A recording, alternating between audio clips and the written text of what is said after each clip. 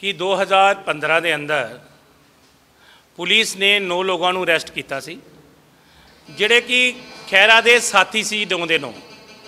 ਔਰ ਉਹਨਾਂ ਨੂੰ ਜਿਸ ਵਕਤ ਅਰੈਸਟ ਕੀਤਾ, ਉਹ ਗੁਰਦੇਵ ਸਿੰਘ ਜੋ ਕਿ ਮਾਰਕੀਟ ਕਮੇਟੀ ਪੁਲੱਥ ਦਾ ਸਾਬਕਾ ਚੇਅਰਮੈਨ ਹੈ, ਉਸ ਨੂੰ ਗ੍ਰਿਫਤਾਰ ਕੀਤਾ। ਉਹਦੇ ਕੋਲੋਂ 2 ਕਿਲੋ ਹੀਰੋਇਨ ਪਕੜ ਲਈ 24 골ਡ ਦੇ ਬਿਸਕੁਟ ਫੜ ਲਏ, ਔਰ ਇਸ ਦੇ ਨਾਲ ਦੋ ਪਾਕਿਸਤਾਨੀ ਸਿਮ ਵੀ ਫੜੇ। ਔਰ ਇਹਦੇ ਨਾਲ ਨਾਲ ਉਹਨਾਂ ਦੇ ਕੋਲੋਂ ਦੋ ਹਥਿਆਰ ਵੀ ਬਰਾਮਦ ਹੋਏ। ਔਰ ਇਹਨੂੰ ਬਚਾਉਣ ਵਾਸਤੇ ਖਹਿਰਾ ਸਾਹਿਬ ਨੇ ਐਡੀ ਚੋਟੀ ਦਾ ਜ਼ੋਰ ਲਗਾਇਆ। ਪੁਲਿਸ ਇਨਵੈਸਟੀਗੇਸ਼ਨ 'ਚ ਇਹ ਵੀ ਆਇਆ ਹੈ ਕਿ 78 ਵਾਰ ਖਹਿਰਾ ਨੇ ਮੁੱਖ ਦੋਸ਼ੀ ਗੁਰਦੇਵ ਸਿੰਘ ਦੇ ਨਾਲ ਫੋਨ ਤੇ ਗੱਲ ਕੀਤੀ ਹੈ। ਜਦੋਂ ਇਹ ਸ਼ੱਕ ਪੈ ਗਿਆ ਕਿ ਗੁਰਦੇਵ ਸਿੰਘ ਦਾ ਫੋਨ ਟੈਪ ਹੋਣ ਲੱਗ ਗਿਆ, ਉਹਦੇ ਬਾਅਦ ਖਹਿਰਾ ਦਾ ਪੀਐਸਓ ਤੇ ਗੁਰਦੇਵ ਸਿੰਘ ਦਾ ਡਰਾਈਵਰ ਇਹਨਾਂ ਦੇ ਫੋਨਾਂ ਦੇ ਉੱਪਰ ਗੱਲਾਂ ਹੁੰਦੀਆਂ ਰਹੀਆਂ। ਔਰ ਇੱਥੇ ਹੀ ਬਸ ਰਹੀ, ਜਿਹੜੀ ਕਿ ਗੁਰਦੇਵ ਸਿੰਘ ਮੁੱਖ ਮੁਜਰਮ ਹੈ, ਉਹਦੀ ਭੈਣ ਯੂਕੇ ਦੇ ਵਿੱਚ ਰਹਿੰਦੀ ਹੈ। ਉਸਨੇ ਵੀ ਇਹ ਖੁਲਾਸਾ ਕੀਤਾ ਕਿ ਉਹਨੇ ਕਈ ਵਾਰੀ ਖੈਰਾ ਦੇ ਨਾਲ ਇਸ ਸਬੰਧ 'ਚ ਗੱਲ ਕੀਤੀ ਤੇ ਖੈਰਾ ਨੇ ਇਹ ਭਰੋਸਾ ਦਿੱਤਾ ਕਿ ਇਹ ਮੁਜਰਮਾਂ ਨੂੰ ਬਚਾਉਣ ਵਾਸਤੇ ਉਹ ਹਰ ਸੰਭਵ ਪ੍ਰਯਾਸ ਕਰਨਗੇ। ਔਰ ਅੱਜ ਕੋਰਟ ਨੇ ਜਿੱਥੇ 9 ਲੋਕਾਂ ਨੂੰ ਸਜ਼ਾ ਸੁਣਾਈ 9 ਲੋਕਾਂ ਨੂੰ ਗੁਰਦੇਵ ਸਿੰਘ ਸਮੇਤ 5 ਲੋਕਾਂ ਨੂੰ 20 ਸਾਲ ਦੀ ਸਜ਼ਾ ਸੁਣਾ ਦਿੱਤੀ। ਕਈ ਲੋਕਾਂ ਨੂੰ 10 ਸਾਲ ਦੀ, ਕਈ ਲੋਕਾਂ ਨੂੰ 5 ਸਾਲ ਦੀ, ਕਈ ਲੋਕਾਂ ਨੂੰ 3 ਸਾਲ ਦੀ ਸਜ਼ਾ ਸੁਣਾਈ।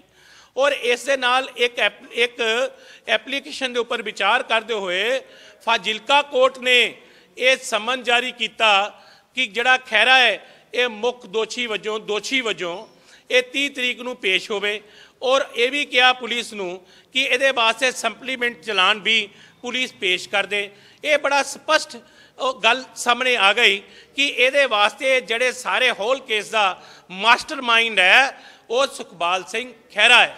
ਔਰ ਕੋਰਟ ਨੇ ਵੀ ਉਹਨੂੰ ਦੋਸ਼ੀ ਮੰਨਿਆ ਕੋਰਟ ਨੇ ਵੀ ਉਹਨੂੰ ਸਮਨ ਜਾਰੀ ਕੀਤਾ ਪੁਲਿਸ ਨੂੰ ਵੀ ਚਲਾਨ ਪੇਸ਼ ਕਰਨ ਵਾਸਤੇ ਕਿਹਾ ਔਰ ਮੈਂ ਇਹ ਗੱਲ ਕਿਹਾ कि औरों को जो ताना देते हैं खुद खोए हैं उन रंग रलियों में हमने भी खैरा को चुप चुप के आते देखा ड्रग माफिया की गलियों में आज केजरीवाल साहब क्यों खामोश है आज केजरीवाल साहब की जुबान क्यों नहीं खुल रही और केजरीवाल साहब ये जवाब ਦਿਓ ਕਿ ਟੋਟਲ ਦੀ ਟੋਟਲ ਆਮ ਆਦਮੀ ਪਾਰਟੀ ਕ੍ਰਿਮੀਨਲ ਲੋਕਾਂ ਨਾਲ ਭਰੀ ਹੈ ਸੱਤ ਮੰਤਰੀਆਂ ਤੋਂ ਚੋ ਚਾਰ ਦੀਆਂ ਵਿਕਟਾਂ ਡਿੱਗੀਆਂ ਚਾਰ ਮੰਤਰੀ ਕ੍ਰਿਮੀਨਲ ਕੇਸਾਂ 'ਚ ਗਏ ਤੁਹਾਡੇ 16 17 ਤੋਂ ਉੱਪਰ ਐਮਐਲਏ ਜਿਹੜੇ ਆ ਉਹ ਕ੍ਰਿਮੀਨਲ ਕੇਸਾਂ ਦੇ ਵਿੱਚ ਗਏ।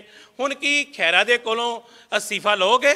ਕਿ ਖੈਰਾ ਨੂੰ ਕਾਨੂੰਨ ਅੱਗੇ ਸਰੈਂਡਰ ਕਰਨ ਵਾਸਤੇ ਹਦਾਇਤ ਜਾਰੀ ਕਰੋਗੇ? ਕਾਂਗਰਸ ਪਾਰਟੀ ਇਹ ਮੰਗ ਕਰਦੀ ਹੈ ਕਿ ਖੈਰਾ ਫੌਰੀ ਤੌਰ ਤੇ ਅਸਤੀਫਾ ਦੇਵੇ ਔਰ ਕਾਨੂੰਨ ਆਪਣਾ ਕੰਮ ਕਰੇ। ਵੇਰਕਾ ਸਾਹਿਬ 2015 ਦੇ ਵਿੱਚ ਜਦੋਂ ਇਨਵੈਸਟੀਗੇਸ਼ਨ ਚੱਲ ਰਹੀ ਸੀ ਤਾਂ ਉਦੋਂ ਵਿਰੋਧੀ ਧਿਰ ਜਿਹੜੇ ਹੈਗੇ ਆ ਲਗਾਤਾਰ ਸਵਾਲ ਚੱਕ ਰਹੇ ਸੀ ਤੁਹਾਡੇ ਤੇ ਵੀ ਕਾਂਗਰਸ ਤੇ ਵੀ। ਜੀ। ਉਸ ਸਮੇਂ ਤੁਸੀਂ ਕਵਰ ਅਪ ਕਰਦੇ ਰਹੇ ਲੇਕਿਨ ਅੱਜ ਜਦੋਂ ਸੁਖਪਾਲ ਖਹਿਰਾ ਆਮ ਆਦਮੀ ਪਾਰਟੀ 'ਚ ਚਲੇ ਗਏ ਤਾਂ ਤੁਸੀਂ ਅੱਜ ਆਰੋਪ ਲਾ ਰਹੇ ਹੋ ਪ੍ਰੈਸ ਕਾਨਫਰੰਸ ਕਰ ਰਹੇ ਹੋ ਤਾਂ ਕੀ ਲੱਗਦਾ ਕਿ ਨਹੀਂ ਨਹੀਂ। ਪਹਿਲੀ ਗੱਲ ਇਹ ਹੈ ਮੈਂ ਕੋਈ ਆਰੋਪ ਲਗਾ ਹੀ ਨਹੀਂ ਰਿਹਾ। ਮੈਂ ਤੇ ਆਰੋਪ ਸਿੱਧ ਹੋਏ ਆ ਜਿਹੜੇ ਉਹਦੀ ਚਰਚਾ ਕਰ ਰਿਹਾ।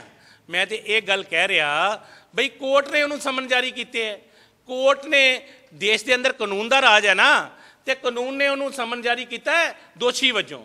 ਕਾਨੂੰਨ ਨੇ ਉਹਨੂੰ ਪੁਲਿਸ ਨੂੰ ਕਿਹਾ ਵੀ ਤੁਸੀਂ ਸਪਲੀਮੈਂਟ ਚਲਾਨ ਵੀ ਇਹਦਾ ਕ੍ਰਿਮੀਨਲ ਦੇ ਤੌਰ ਤੇ ਪੇਸ਼ ਕਰੋ।